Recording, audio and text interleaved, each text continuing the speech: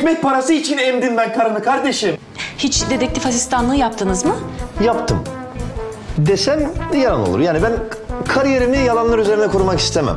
Ama bu iş için ideal eleman. Yani beni işe almayı düşünmüyor öyle mi? Yok abi. Şikayetçi olup eşkalini polise bildirmiş. İnşallah ilk tanışmamızda kendi kimliğim yerinde bir baltaya sap olamamış, başıboş bir it kılına girdiğim için bana kızmadınız. Çok güzel it kopuk taklidi yaparım da. Müthiş bir oyunculuk yeteneğiniz var. Yeni evli çift kılığında kalacağınız bir oda ayırdık. Evli çift mi? Hareketlerine dikkat et lütfen. Masada da öyle anormal davranma. Ben şu olayı çözeyim, bir daha bu hatunla çalışmam. Eşhedü en la...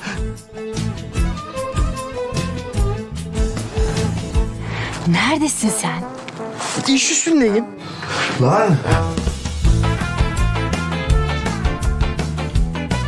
Ova! Katil Kaan. Günaydın.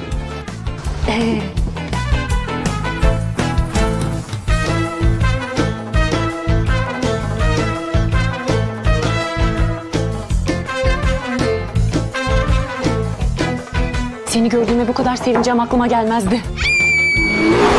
Ah Ece! Gitti güzelim memeler.